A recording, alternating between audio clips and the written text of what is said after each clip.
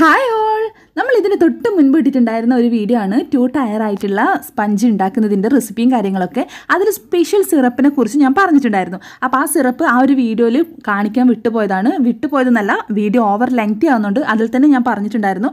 ആ ഒരു സിറപ്പിന് വേണ്ടി നെക്സ്റ്റ് വീഡിയോ വരെ വെയിറ്റ് ചെയ്യണമെന്ന്. അപ്പോൾ ആ ഒരു വീഡിയോ ഞാൻ ഇതിൽ ഡീറ്റെയിൽ ആയിട്ട് കൊടുക്കുന്നുണ്ട്.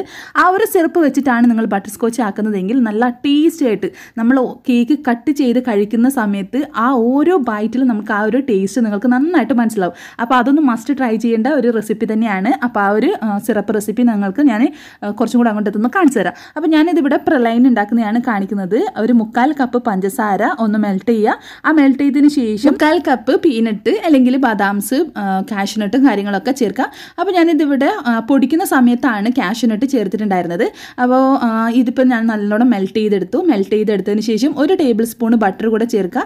എന്നിട്ട് ആ ഒരു കാഷ്നട്ടും ബദാംസ് ഏതാണോ നിങ്ങൾക്ക് നട്ട്സ് ഇഷ്ടം അതൊക്കെ ചേർത്തിട്ട് നന്നായിട്ടൊന്ന് മിക്സ് ചെയ്ത് കൊടുക്കുക. അപ്പോൾ മിക്സിങ് ചെയ്തിട്ട് നമ്മൾ ഇത് ഒന്ന് ചൂടോടെ തന്നെ പെട്ടെന്ന് തന്നെ അധികം കട്ടാവാത്ത രീതിയിൽ നമ്മളൊരു പ്ലേറ്റിലേക്ക് മാറ്റണം. ഒരു സ്റ്റീലിന്റെ പ്ലേറ്റോ അല്ലെങ്കിൽ അത്യാവശ്യം ഹീറ്റ് റെസിസ്റ്റന്റ് ആയ പ്ലേറ്റും കാര്യങ്ങളും എടുക്കുക. അതിന് മുൻപ് ആ പ്ലേറ്റിൽ കുറച്ച് ഓയിൽ ഒന്ന് സ്പ്രെഡ് ചെയ്യാൻ പ്രത്യേകം ശ്രദ്ധിക്കുക.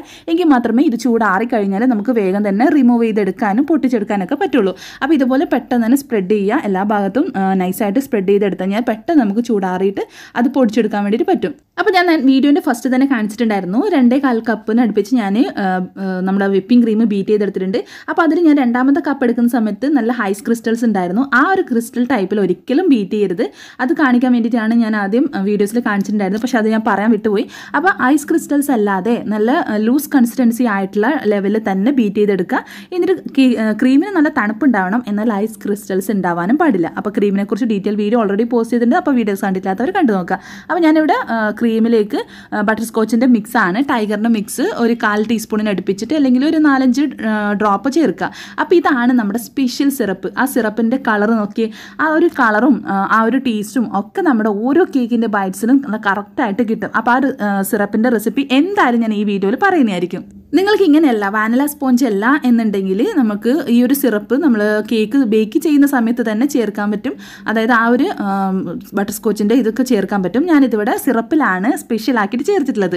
കേക്കിലേക്ക് ചെയ്യുന്ന സമയത്ത് ആ ഒരു കടിക്കുന്ന ടൈമിൽ ആ ഒരു ഇത് വരില്ല. കാരണം ഇതുപോലെ സിറപ്പ് ടൈപ്പിലാണ് ചെയ്യുന്നതെങ്കിൽ നല്ല എക്സ്ട്രാ ടേസ്റ്റ് നമുക്ക് കിട്ടും. അപ്പോൾ ഞാനിതിവിടെ ഫസ്റ്റ് ലെയർ വെച്ചു. എട്ട് ഇഞ്ചിന്റെ ടിന്നും സിക്സ് ഇഞ്ചിന്റെ ടിന്നും ആണ് രണ്ട് ലെയറായിട്ട് ഞാൻ യൂസ് ചെയ്തിട്ടുള്ളത്. അപ്പോൾ എട്ട് ഇഞ്ച് എട്ട് ഇഞ്ചിന്റെ കേക്കാണ് ഞാനിപ്പോൾ ഫസ്റ്റ് ലെയർ വെച്ചു. നമ്മൾ സ്പെഷ്യൽ സിറപ്പ് വെച്ച് വെട്ടി ചെയ്തു എന്നിട്ട് ക്രീം സ്പ്രെഡ് ചെയ്തു പ്രലൈനും പിന്നെ നമ്മുടെ സോസും സോസിന്റെ വീഡിയോസും പ്രലൈന്റെ വീഡിയോസൊക്കെ നമ്മൾ ഓൾറെഡി പോസ്റ്റ് ചെയ്തിട്ടുണ്ട്. നമ്മളെ വീഡിയോസ് ചാനലിൽ കയറി കണ്ടാൽ മതി. നമ്മൾ ബട്ടർ സ്കോച്ചിന്റെ കേക്ക് മൂന്നാൽ തരത്തിലുള്ള വീഡിയോസ് ഇട്ടിട്ടുണ്ട്. അതിലൊക്കെ ഡീറ്റെയിൽ ആയിട്ട് കൊടുത്തിട്ടുണ്ട്. അതുകൊണ്ട് കൂടുതൽ ഡീറ്റെയിൽസ് ഞാൻ പ്രലൈന്റെതോ അല്ലെ സോസിന്റെതോ കൊടുത്തിട്ടില്ല. വീഡിയോ അല്ലെങ്കിൽ ഓൾറെഡി ഭയങ്കര ലെങ്തിയാണ് അപ്പോൾ മാക്സിമം ലെങ്ത് കുറയ്ക്കാൻ വേണ്ടിയിട്ട് ഒരുപാട് പേര് പറഞ്ഞുകൊണ്ടാണ് അതെല്ലാം ഞാൻ ഇതിൽ ഇൻക്ലൂഡ് ചെയ്യാത്തത്. പിന്നെ ലക്ഷങ്ങൾ വിലമതിക്കുന്ന ടൈപ്പിലുള്ള ഡെക്കറേഷനും കാര്യങ്ങളൊക്കെയാണ് നമ്മൾ ഈ ഒരു കേക്കിൽ കൊടുത്തിട്ടുള്ളത്. അപ്പോൾ അതിന് ഡെക്കറേഷനും ബാക്കി ഫൗണ്ടന്റെ വർക്കും കാര്യങ്ങളൊക്കെ നമ്മൾ ഡീറ്റെയിൽ നെക്സ്റ്റ് വീഡിയോ ആയിട്ടാണ് വരുന്നത്. അപ്പോൾ ഇതിൽ ഞാൻ അതിൽ ഡീറ്റെയിൽസ് കൊടുക്കുന്നില്ല. അപ്പോൾ നമ്മുടെ ഡെക്കറേഷനും കാര്യങ്ങളൊക്കെ നമ്മൾ നെക്സ്റ്റ് വീഡിയോ പറയുന്നതുകൊണ്ടാണ് ഈ ഒരു വീഡിയോയിൽ കൂടുതൽ ലെങ്തി ആക്കാത്തത്. നമ്മൾ ആ ഫില്ലിങ്സും കാര്യങ്ങളും ഒരു ബിഗിനേഴ്സ് ആണെങ്കിൽ പോലും നമുക്ക് ഈസി ആയിട്ട് ചെയ്തെടുക്കാൻ പറ്റുന്ന രീതിയിൽ എല്ലാ കാര്യങ്ങളും ഇൻക്ലൂഡ് ചെയ്യുന്നതുകൊണ്ടാണ് ഇത്രയും ലെങ്തി ആവുന്നത്. അത് നിങ്ങൾക്ക് എല്ലാവർക്കും മനസ്സിലാവുമെന്ന് വിചാരിക്കുന്നു. അപ്പോൾ നമ്മൾ സെക്കൻഡ് ലെയർ വെക്കുക. നമ്മുടെ സ്പെഷ്യൽ സിറപ്പ് വെച്ച് വെറ്റി ചെയ്യുക. ക്രീം സ്പ്രെഡ് ചെയ്തു പ്രലൈനും പിന്നെ നമ്മൾ നേരത്തെ ചെയ്തതുപോലെ തന്നെ സോസും.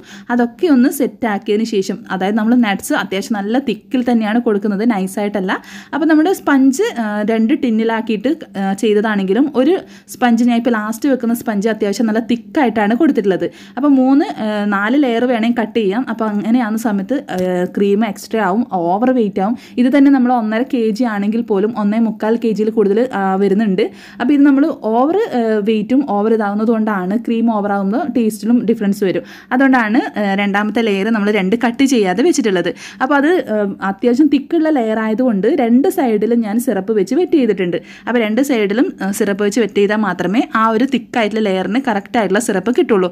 അപ്പോൾ ഇനി ക്രം കോട്ട് ചെയ്യുക. ക്രം കോട്ട് ചെയ്തിട്ട് ഒരു പത്ത് പതിനഞ്ച് മിനിറ്റ് ഫ്രിഡ്ജിലോ അല്ലെങ്കിൽ ഫ്രീസറിലോ കൊണ്ടുവെക്കുക. ക്രംസൊക്കെ നല്ല രീതിയിൽ കട്ടിയായിട്ട് നല്ല രീതിയിൽ തന്നെ നമുക്ക് സ്റ്റിക്ക് അധികം നമ്മുടെ സെക്കൻഡ് ഐസ് ഐസിങ് ചെയ്യുന്ന സമയത്ത് ക്രംസ് പുറത്ത് വരാത്ത രീതിയിൽ നല്ല ഈസി ആയിട്ട് ചെയ്യാൻ പറ്റുന്ന രീതിയിൽ വരാൻ വേണ്ടിയിട്ടാണ് ഫ്രിഡ്ജിൽ വെക്കാൻ പറയുന്നത്. അപ്പോൾ ഈ ഒരു കേക്ക് നമുക്ക് ഫ്രീസറിലോ ഫ്രിഡ്ജിലോ കൊണ്ടുവെക്കാം. ഇതാണ് നമ്മൾ സ്പെഷ്യൽ ആയിട്ടുള്ള സിറപ്പ് തയ്യാറാക്കാൻ പോകുന്നത്. അര കപ്പ് പാലിലേക്ക് മുക്കാൽ കപ്പ് വെള്ളമാണ് ചേർത്തിട്ടുള്ളത്. അപ്പോൾ ഞാനിതിവിടെ ടോട്ടലി ഒന്നേ കാൽ കപ്പ് അല്ലെങ്കിൽ ഒന്നര കപ്പ് അതിനുള്ളിൽ തന്നെ മതിയാവും. പിന്നെ മുക്കാൽ കപ്പ് പഞ്ചസാര ഒരു നുള്ള് ഉപ്പ് പിന്നെ ടൈഗറിന്റെ ബട്ടർ സ്കോച്ച് മിക്സ് അതൊരു കാൽ ടീസ്പൂണിന് അടുത്ത് ചേർക്കുന്നുണ്ട്. അതായത് ആദ്യം ഞാനൊരു രണ്ടോ മൂന്നോ ഡ്രോപ്പ് ചേർത്തു. പിന്നെ ഒരു രണ്ട് ഡ്രോപ്പും കൂടെ ചേർക്കുന്നുണ്ട്. അപ്പോൾ ഞാനിവിടെ പഞ്ചസാര ചേർക്കുന്ന സമയത്ത് അരക്കപ്പ് മാത്രമേ കാണിച്ചിട്ടുള്ളൂ. അത് വീഡിയോസിൽ കാൽ കപ്പ് കാണിക്കാൻ വിട്ടുപോയതാണ്. അപ്പോൾ നിങ്ങൾ ഇതൊക്കെ ചേർത്ത് നന്നായിട്ട് തിളപ്പിക്കുക. നന്നായിട്ട് തിളപ്പിച്ചതിന് ശേഷമാണ് നമ്മൾ ഈ സിറപ്പ് യൂസ് ചെയ്യുന്നത്.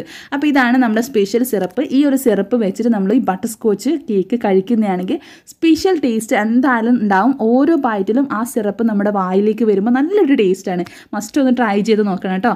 ഇപ്പോൾ നമ്മൾ ഐസിങ് ചെയ്യുന്നത് സെക്കൻഡ് ഐസിങ് ചെയ്യുന്നത് നമ്മളിപ്പോൾ ഇവിടെ ഈ ഒരു സ്പഞ്ച് സിക്സ് ഇഞ്ചിന്റെ ടിന്നാണ് അപ്പോൾ ഒരുപാട് പേര് ചോദിക്കാറുണ്ട് എത്ര ഇഞ്ചാണ് എങ്ങനെ അതുകൊണ്ടാണ് ഇത്ര ഡീറ്റെയിൽസ് പറയുന്നത്. ഇനി നമ്മൾ സിറപ്പ് വെച്ച് വെറ്റി ചെയ്യുക ക്രീം സ്പ്രെഡ് ചെയ്യുക നമ്മുടെ സോസ് ഒന്ന് സ്പ്രെഡ് ചെയ്യുക. പിന്നെ അതിന് മുകളിലേക്ക് നല്ല തിക്കായിട്ട് തന്നെ പ്രലൈനും കൂടി നന്നായിട്ട് ഫില്ല് ചെയ്ത് കൊടുക്കുക. പ്രലൈൻ അത്യാവശ്യം ചേർത്ത് കഴിഞ്ഞാലാണ് നമ്മൾ ഓരോ പീസസ് കട്ട് ചെയ്തിട്ടും ഓരോ ബൈറ്റ് ചെയ്യുന്ന സമയത്ത് ആ ഒരു എല്ലാ പ്രലൈൻസും നമുക്ക് കഴിക്കുന്ന സമയത്ത് കിട്ടുള്ളൂ. അപ്പോൾ അത്യാവശ്യം നല്ല തിക്കിൽ തന്നെയാണ് നമ്മൾ കാര്യങ്ങളൊക്കെ കൊടുക്കുന്നത്. ഇനി സെക്കൻഡ് ലെയറും ഇതേപോലെ തന്നെ സെയിം ആയിട്ട് റിപ്പീറ്റ് ചെയ്യുക. ക്രീം സ്പ്രെഡ് ചെയ്യുക. അതിന് മുൻപ് നമ്മൾ സിറപ്പ് വെച്ച് വെറ്റി ചെയ്യുക. എന്നൊരു ക്രീം സ്പ്രെഡ് ചെയ്യുക. എന്നൊരു പ്രലൈനും സോസും കാര്യങ്ങളൊക്കെ ഫില്ല് ചെയ്ത് കൊടുക്കുക. ഇത് നാല് ലെയറാണ് അത്യാവശ്യം നാല് ലെയറിൽ മൂന്ന് ലെയറിൽ നമ്മൾ ഫില്ലിങ്സും കാര്യങ്ങളൊക്കെ കൊടുക്കുന്നുണ്ട്. നേരത്തെ നമ്മൾ ചെയ്തത് മൂന്ന് ലെയറാണ് അപ്പോൾ അതൊക്കെ ചെയ്ത് നന്നായിട്ട് ഫില്ല് ചെയ്തിട്ട് ക്രം കോട്ട് ചെയ്തിട്ട് നന്നായിട്ട് നേരത്തെ ഞാൻ പറഞ്ഞ പോലെ ഫ്രിഡ്ജിലോ ഫ്രീസറിലോ വെച്ചിട്ട് നന്നായിട്ട് ക്രം കോട്ട് ചെയ്തിട്ട് സെറ്റ് ആവാൻ വേണ്ടി വെക്കുക. എങ്കിൽ മാത്രമേ കേക്ക് നല്ല പെർഫെക്റ്റ് ആയിട്ട് ഐസിങ് ചെയ്യാനും ഷാർപ്പ് എഡ്ജ് ചെയ്യാനും അധികം ഓവറായിട്ട് മെനക്കെടാതെ രീതിയിൽ എഡ്ജും കാര്യങ്ങളൊക്കെ ചെയ്യണമെന്നുണ്ടെങ്കിൽ ക്രം കോട്ട് ചെയ്തിട്ട് ഫ്രീസറിലോ ഫ്രിഡ്ജിലോ വെച്ച് സെറ്റ് ആക്കുക. അത് ആണ്. എങ്കിൽ മാത്രമേ നല്ല പെർഫെക്റ്റ് ആയിട്ട് ചെയ്യാൻ പറ്റുള്ളൂ. അപ്പോൾ നമ്മളിവിടെ എട്ട് ഇഞ്ചിന്റെത് ഫസ്റ്റ് നമ്മൾ ഐസിങ് ചെയ്ത് വെച്ചു. ഇതിപ്പോൾ സിക്സ് ഇഞ്ചിന്റെ ചെയ്ത് ഇനി ഇതും കൂടി ഫ്രിഡ്ജിൽ വെച്ചതിന് ശേഷമാണ് നമ്മൾ ഫോണ്ടന്റെ വർക്കും കാര്യങ്ങളൊക്കെ ചെയ്യുന്നത്. അപ്പോൾ ഫോണ്ടന്റെ വർക്ക് ഇതിപ്പോൾ തലേന്നാണ് നമ്മൾ ചെയ്ത് വെച്ചിട്ടുള്ളത്. അപ്പോൾ ഫോണ്ടന്റെ വർക്കും തലേന്ന് ചെയ്യുന്നതാണ് ഏറ്റവും നല്ലത്. അപ്പോൾ അത് നന്നായിട്ട് ചെയ്ത് സെറ്റ് ആയതിനു ശേഷം കേക്കിലേക്ക് വെക്കുക. അപ്പോൾ ഫോണ്ടന്റെ വർക്കും കാര്യങ്ങളൊന്നും ഞാൻ ഇതിൽ ഡീറ്റെയിൽസ് കൊടുക്കുന്നില്ല.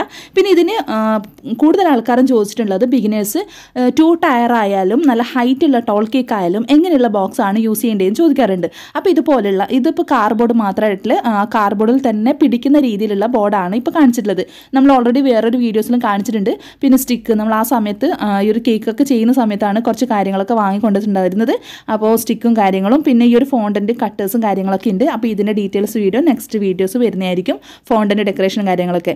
ഇനി നമ്മളിവിടെ ക്രീം സെക്കൻഡ് ഐസിങ് ചെയ്യാനുള്ള ക്രീമാണ് ബ്ലൂ തീമാണ് ചെയ്യാൻ പറഞ്ഞിട്ടുണ്ടായിരുന്നത്. അപ്പോൾ ആദ്യത്തെ ലെയർ നമ്മളോട് ഡാർക്ക് ബ്ലൂ ആയിട്ടും അത്യാവശ്യം ഒരു ഡാർക്ക് ഷെയ്ഡ് ബ്ലൂ ആയിട്ടും താഴെ നിങ്ങളുടെ ഇഷ്ടത്തിന് ചെയ്തോ അതിനെ മാച്ച് ചെയ്യുന്ന രീതിയിൽ ചെയ്തോ എന്നാണ് പറഞ്ഞിട്ടുള്ളത്.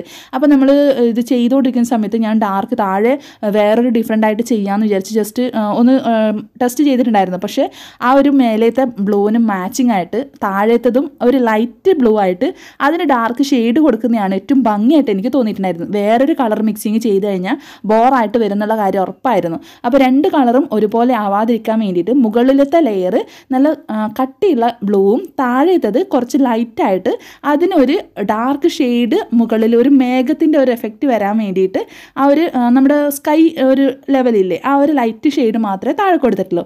മുകളിലത്തെ ലെയർ അത്യാവശ്യം ഡാർക്ക് ഷെയ്ഡിലും അപ്പോൾ ഈ ആകാശവും മേഘങ്ങളും അങ്ങനെയുള്ള കാര്യങ്ങളൊക്കെ അതിന്റെ ഒരു എഫക്റ്റും ഫീലും ഒക്കെ വരുത്തുന്നുണ്ട്. അപ്പോൾ ആ ഒരു ഇത് വരുത്താൻ വേണ്ടി താഴെ ലൈറ്റ് ഷെയ്ഡ് ബ്ലൂ ആണ് കൊടുത്തിട്ടുള്ളത്. ഞാനിവിടെ യൂസ് ചെയ്തിട്ടുള്ളത് റോയൽ ബ്ലൂ ലൈറ്റ് ഷെയ്ഡാക്കി കൊടുത്തിട്ട് ആ ഒരു ഷെയ്ഡ് മിക്സിങ് ചെയ്തിട്ട് താഴെയും അതിന് ഒരു മേഘത്തിന്റെ ഒരു എഫക്റ്റും ഒരു ബ്ലൂ കളറിന്റെ ഒരു എഫക്റ്റ് ഒക്കെ വരുത്താൻ വേണ്ടിയിട്ട് കുറച്ച് ക്രീം മാത്രം ഒന്ന് സ്പ്രെഡ് ചെയ്തിട്ടും ചെയ്യുന്നുണ്ട്. ഇപ്പം ഞാനിതിവിടെ എട്ട് ഇഞ്ചിന്റെ ടിന്നിൽ ചെയ്തിട്ടുള്ള കേക്ക് നല്ല രീതിയിൽ അത്യാവശ്യം ഒന്ന് തിക്കായിട്ട് ലെയർ ചെയ്ത് ക്രീം കൊടുക്കുക. എന്നിട്ട് ജസ്റ്റ് ഒന്ന് പാലറ്റ് നൈഫ് വെച്ചിട്ടൊന്ന് സ്ക്രേപ്പ് ചെയ്തതിന് ശേഷം ഞാൻ ഇവിടെ സ്ക്രേപ്പർ യൂസ് ചെയ്തിട്ട് ഒന്ന് ജസ്റ്റ് ഒന്ന് ലൈൻസ് വരച്ചിട്ട് വരച്ചു കൊടുക്കുകയാണ് ചെയ്യുന്നത്. അതായത് നമ്മൾ സ്ക്രേപ്പർ വെച്ചിട്ട് ഒന്ന് ലെവൽ ചെയ്തെടുക്കുക. എന്നിട്ട് മുകൾ ഭാഗത്ത് എക്സസ് ആയിട്ടുള്ളത് നമ്മൾ പാലറ്റ് നൈഫ് വെച്ചിട്ട് ഒന്ന് സ്ക്രേപ്പ് ചെയ്തെടുക്കുക. സ്ക്രീപ്പ് ചെയ്തെടുക്കുമ്പോൾ പ്രത്യേകം ശ്രദ്ധിക്കുക. പാലറ്റ് നൈഫ് ഓരോ സ്ക്രേപ്പ് ചെയ്യുന്ന സമയത്തും ക്ലീൻ ചെയ്യുക. എന്നിട്ട് മാത്രം നമ്മളിത് സ്ക്രേപ്പ് ചെയ്ത് ബാക്കി ചെയ്യുക. അപ്പോൾ ഇതുപോലെ ചെയ്യുന്ന സമയത്ത് സൈഡ് ഭാഗത്തേക്ക് എക്സസ് ആയിട്ട് വരും. അപ്പോൾ വീണ്ടും അത് നമ്മൾ സ്ക്രേപ്പർ വെച്ചിട്ട് വടിച്ച് ക്ലിയർ ചെയ്യുക. പിന്നെ മുകൾ ഭാഗത്ത് ഒന്നുകൂടെ ചെയ്യുക. അപ്പോൾ ഇതിങ്ങനെ രണ്ടോ മൂന്നോ മൂന്നോ തവണ ചെയ്താൽ മാത്രമേ പെർഫെക്റ്റ് ആയിട്ട് കിട്ടുള്ളൂ. ഒറ്റ രീതിയിൽ തന്നെ ഒറ്റ തവണ മാത്രം ചെയ്താൽ ഒരിക്കലും നമുക്ക് ഷാർപ്പ് എജ് കൃത്യമായിട്ട് കിട്ടണമെന്നില്ല. അപ്പോൾ ഇത് വീഡിയോസിൽ നമ്മൾ കുറച്ച് കാര്യങ്ങളൊക്കെ കട്ട് ചെയ്യും. എന്നാൽ കാര്യങ്ങൾ അത്യാവശ്യം പറഞ്ഞു തരികയും ചെയ്യും. അപ്പോൾ ഇതുപോലെ ഏകദേശം ഒന്ന് ലെവൽ ചെയ്തതിന് ശേഷം ഞാനിതാ വീണ്ടും ആ ഒരു സൈഡിൽ പാലറ്റ് നൈഫിൽ നമ്മൾ നേരത്തെ യൂസ് ചെയ്തിട്ട സെയിം കളർ തന്നെ ഒരു ലൈൻസ് പോലെ മാത്രമായിട്ട് കൊടുക്കുകയാണ്. അവിടെ ഇവിടെയൊക്കെ ആയിട്ട് കൊടുത്തിട്ട് അത് സ്ക്രീപ്പ് ചെയ്തെടുക്കുന്ന സമയത്ത് ഒരു ലൈൻസ് പോലെ ഡാർക്ക് ഷെയ്ഡ് ഇത് ഐസിങ് ചെയ്ത് അതേ സ്പോട്ടിൽ തന്നെ ചെയ്യണം. അല്ലാതെ ഇത് ഫ്രിഡ്ജിൽ വെച്ചതിന് ശേഷം ചെയ്യാൻ നിന്ന് കഴിഞ്ഞാൽ നമ്മുടെ ക്രീം ബോറായി പോകാൻ ചാൻസ് ഉണ്ട്. അപ്പോൾ ആ ഐസിങ് ചെയ്ത് അതൊന്ന് ഏകദേശം ഒന്ന് ലെവൽ ചെയ്തെടുത്തതിന് ശേഷം ഇതുപോലെ ഒരു സൈഡിലും മുകളിലും താഴെയും ഒന്ന് ടച്ച് ആവാത്ത രീതിയിൽ സെൻട്രലായിട്ട് അങ്ങനെയാണ് നമ്മൾ കൊടുത്തിട്ടുള്ളത്. മുകളിൽ കുറച്ച് സ്പേസും താഴെ കൂടുതൽ സ്പേസും വെച്ചിട്ട് സെൻട്രലായിട്ട് കുറച്ച് ഡാർക്ക് ഷെയ്ഡ് കൊടുത്തിട്ടുണ്ട്. അപ്പോൾ ആ ഒരു നമ്മുടെ മേഘങ്ങളുടെ ആ ഒരു ആകാശം ആകാശം എല്ലാം ഒരേ കളറല്ലല്ലോ ചില സ്ഥലത്ത് ഡാർക്ക് ഉണ്ടാവും ചില സ്ഥലത്ത് വൈറ്റ് ഉണ്ടാവും ചില സ്ഥലത്ത് ലൈറ്റ് ബ്ലൂ ഉണ്ടാവും. അപ്പോൾ ആ ഒരു ഷെയ്ഡ് മാത്രമേ കൊടുത്തിട്ടുള്ളത്. അപ്പോൾ ഇത് ഈ ഒരു രീതിയിൽ ചെയ്തിട്ട് അതൊന്ന് ഫ്രിഡ്ജിൽ വെച്ചു. ഇനി നമ്മൾ സിക്സ് ഇഞ്ചിന്റെ ടിന്നിൽ ചെയ്തിട്ടുള്ള ആ ഒരു കേക്ക് ഐസിങ് ചെയ്യുന്നുണ്ട്. അപ്പോൾ നേരത്തെ ചെയ്തത് ലൈറ്റ് ഷെയ്ഡാണ് ഇപ്പോൾ കുറച്ചുകൂടെ ഡാർക്ക് ആക്കിയിട്ടുണ്ട്. മുകളിലത്തെ ഭാഗം ഡാർക്ക് അപ്പോൾ കസ്റ്റമൈസ്ഡ് ആയിട്ടുള്ള കേക്കാണ് കസ്റ്റമർ അയച്ചു തന്നിട്ടുണ്ടായിരുന്ന കേക്ക് ഒറ്റ ലെയർ മാത്രമാണ് അത് നമ്മൾ ടു ടയർ കേക്കാക്കി മാറ്റുന്നതാണ് അപ്പോൾ താഴത്തെ ലെയർ വേറെ കളർ വെച്ച് കഴിഞ്ഞാൽ മാച്ച് ഉണ്ടാവില്ല. അത് ഞാൻ കസ്റ്റമറോട് ലാസ്റ്റ് പറഞ്ഞിട്ടുണ്ടായിരുന്നു. വേറെ കളർ ഏതാണെന്ന് വെച്ചാൽ നിങ്ങൾ ഇഷ്ടത്തിന് ചെയ്തോ എന്നാണ് പറഞ്ഞിട്ടുണ്ടായിരുന്നത്. പക്ഷേ ഈ ഒരു കളർ തന്നെയാണ് അതിന് മാച്ചിങ് ആയിട്ട് എനിക്ക് തോന്നിയിട്ടുള്ളത്. അപ്പോൾ ആ ഒരു രീതിയിൽ താഴെ ലൈറ്റ് ഷെയ്ഡും മുകളിൽ കുറച്ചുകൂടെ ഡാർക്ക് ഷെയ്ഡും ഒക്കെ കൊടുത്ത് ഈ ഒരു കേക്കിന്റെ ഐസിങ് ഏകദേശം നീറ്റാക്കി ഇനി ടു ടയറിന് യൂസ് ചെയ്യാൻ പറ്റുന്ന ബോക്സിനെ കുറിച്ച് കുറേ ആൾക്കാർ ചോദിച്ചിട്ടുണ്ട്. അപ്പം ഞാൻ നേരത്തെ കാണിച്ചിട്ടുണ്ട് അത് ഫുള്ളി ആയിട്ടുള്ള കവറായിട്ടുള്ള ബോർഡാണ്. ഇപ്പം നമ്മൾ ട്രാൻസ്പെറന്റ് ആയിട്ട് അത്യാവശ്യം നല്ല എലിഗൻ ലുക്ക് കൊടുക്കുന്ന ട്രാൻസ്പെറന്റ് ആയിട്ടുള്ള ബോക്സും കാണിക്കുന്നുണ്ട്. അപ്പോൾ അതിന് മുൻപ് നമ്മളിത് സ്റ്റാക്കിങ് ചെയ്യുന്നത് തലേന്ന് ദിവസം കേക്ക് ഐസിങ് ചെയ്ത് നീറ്റ് ചെയ്തിട്ട് നമ്മൾ വെച്ചിട്ട് നന്നായിട്ട് തണുത്തതിന് ശേഷം മാത്രമേ ഇതുപോലെ സ്റ്റാക്കിങ് ചെയ്ത് കൊടുക്കാറുള്ളൂ. പിറ്റേ ദിവസം നമ്മൾ ഡെലിവറി ചെയ്യുന്നതിന്റെ ഒരു മണിക്കൂർ മുമ്പാണ് ഞാനിത് സ്റ്റാക്കിങ് ചെയ്ത് കൊടുക്കുന്നത്. അപ്പോൾ ഞാനിവിടെ കേക്ക് ബോർഡിൽ നിന്ന് അത്യാവശ്യം ഒന്ന് ഇളക്കി എടുത്തതിന് ശേഷം ഇതുപോലെ എടുക്കുക പിന്നെ നമ്മൾ എട്ട് ഇഞ്ചിന്റെ ആ ഒരു കേക്കില്ലേ ആ താഴത്തെ കേക്കിൽ നമ്മളിവിടെ സ്ട്രോ അത്യാവശ്യം നല്ല ട്രിക്കായിട്ടുള്ള സ്ട്രോ ആണ് വെച്ച് കൊടുത്തിട്ടുള്ളത്. അപ്പോൾ മുകളിലത്തെ കേക്കിന് നല്ലൊരു സപ്പോർട്ട് കിട്ടാൻ വേണ്ടിയിട്ടാണ്. പിന്നെ അത്യാവശ്യം നല്ല രീതിയിൽ തന്നെ അത് സ്റ്റിക്കായി നിന്നാൽ മാത്രമേ നമ്മൾ ഡെലിവറി ടൈമിൽ വീഴാതിരിക്കൂ. അപ്പോൾ അതിന് വേണ്ടിയിട്ട് മുകൾ ഭാഗത്ത് നമ്മളൊരു സ്ട്രോ കൊടുക്കുന്നുണ്ട്. നല്ല ഹൈറ്റിൽ തന്നെ വലിയ സ്ട്രോ വലുപ്പത്തിലുള്ള സ്ട്രോ കൊടുക്കുന്നുണ്ട്. പിന്നെ നമ്മൾ എടുക്കുന്ന സമയത്ത് പാലറ്റ് നൈഫ് എടുക്കുന്ന സമയത്ത് ജസ്റ്റ് ടച്ചായി പോയത് നമ്മൾ അവിടെ ക്രീം ഫില്ല് ചെയ്ത് കൊടുത്തിട്ട് അതൊന്ന് ഷേപ്പ് ചെയ്തെടുക്കുക. ഇത് ഷേപ്പ് ചെയ്തെടുക്കുന്ന സമയത്ത് പാലറ്റ് നൈഫ് അത്യാവശ്യം ഒന്ന് ചൂടുവെള്ളത്തിൽ മുക്കിയിട്ട് ചെയ്ത് കൊടുത്തു കഴിഞ്ഞാൽ അത്യാവശ്യം നല്ല രീതിയിൽ അധികം ലൈൻസ് വരാത്ത രീതിയിൽ തന്നെ നമുക്ക് ഷാർപ്പ് അടിച്ചും കാര്യങ്ങളൊക്കെ ചെയ്ത് കൊടുക്കാൻ പറ്റും. അപ്പോൾ ഇതുപോലെ ടച്ച് ആയാലും പിന്നെ അവിടെ ഫോണ്ടന്റ് വർക്കും കാര്യങ്ങളും വരുന്നുണ്ട്. അതുകൊണ്ട് അധികം അങ്ങനെ കാണാൻ ചാൻസ് ഇല്ല. നമ്മുടെ അവിടെ ടച്ചായി പോയിട്ടുള്ള കാര്യങ്ങളൊക്കെ ചെയ്ത് നീറ്റാക്കി എടുക്കാം. പിന്നെ മുകളിൽ രണ്ട് കേക്കിനും ബാലൻസ് ചെയ്യുന്ന രീതിയിൽ സ്ട്രോ വെക്കുക. എന്നിട്ട് അവിടെ കുറച്ച് ക്രീം വെച്ചിട്ട് ഫില്ല് ചെയ്തിട്ട് അതൊന്ന് മൊത്തത്തിൽ ഒന്ന് സ്ക്രീപ്പ് ചെയ്ത് ലെവൽ ചെയ്തെടുക്കാം അപ്പോൾ നമ്മുടെ ടയർ ഇവിടെ റെഡിയായി അപ്പോൾ ഇതാണ് ട്രാൻസ്പെറന്റ് ആയിട്ട് നൂറ്റി ഇരുപത് രൂപയാണ്. നേരത്തെ എടുത്തിട്ടുള്ള ആ ഒരു ബോക്സിനും നൂറ്റി ഇരുപത് രൂപയാണ്. കുറേ പേര് ചോദിക്കാറുണ്ട് പാക്കിങ് കാണിക്കണം. ആ, പാക്കിങ് ചെയ്യുന്ന സമയത്ത് എങ്ങനെയാണ് കേക്ക് വെക്കുന്നത് എന്നൊക്കെ വെക്കുന്നത് അതൊക്കെ വീഡിയോയിൽ കാണിക്കണം എന്ന് പറയാറുണ്ട്. പിന്നെ ടേൺ ടേബിളിനെ കുറിച്ച് കുറേ കമൻസ് ഇതും വരുത്തുന്നുണ്ട്. ടേൺ ടേബിളിനെ കുറിച്ച് ഞാൻ ഡീറ്റെയിൽ വീഡിയോ ഒന്ന് നെക്സ്റ്റ് ഇടുന്നതായിരിക്കും.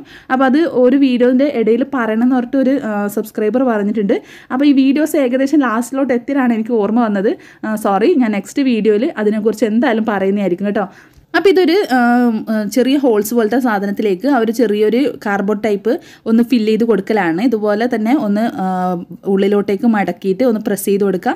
ഇതുപോലുള്ള ഹോളിലേക്ക് ഒന്ന് പ്രസ് ചെയ്ത് ഇട്ട് കൊടുക്കുന്ന സമയത്ത് ഒരു നാല് മൂലയായിട്ടുള്ള ആ ഒരു ബോക്സ് ടൈപ്പ് ആവും. പിന്നെ അതിനൊരു അടപ്പ് ഗ്ലാസ് ടൈപ്പിൽ അടപ്പും ഫ്രണ്ടിലും ഗ്ലാസ് മുകളിലും ഗ്ലാസ് എന്ന രീതിയിൽ നമ്മുടെ കേക്ക് സൈഡിൽ നിന്നും കാണും മുകളിൽ നിന്നും കാണാൻ പറ്റുന്ന രീതിയിലുള്ള അത്യാവശ്യം നല്ല എലിഗൻ ലുക്ക് കൊടുക്കുന്ന ഒരു ബോർഡാണിത് നോർമൽ ബോർഡ്സും കാര്യങ്ങളും ചെയ്യാം. പിന്നെ റേറ്റ് കുറച്ചിട്ട് നമ്മൾ നോർമലി കൊടുക്കുന്ന കേക്കിന്റെ ബോർഡ് തന്നെ കോൺ ഷേപ്പിൽ മടക്കിയിട്ട് ചെറിയ റേറ്റിൽ വേണമെങ്കിൽ നമുക്ക് സെയിൽ ചെയ്യാൻ പറ്റും. ഇനി നമ്മൾ കുറച്ചും കൂടെ എലിഗൻ ലുക്ക് കൊടുക്കാൻ വേണ്ടിയിട്ട് ഇത് ഇതുപോലത്തെ റിബണും ആ ഒരു ഇതൊക്കെ വെച്ച് നല്ല രീതിയിൽ കൊടുക്കുകയാണ് അപ്പം നമ്മുടെ വീഡിയോസ് ഇഷ്ടപ്പെട്ടെങ്കിൽ ലൈക്ക് ചെയ്യുക കമന്റ് സബ്സ്ക്രൈബ് റിഷാസ് റെസിപ്പീസ്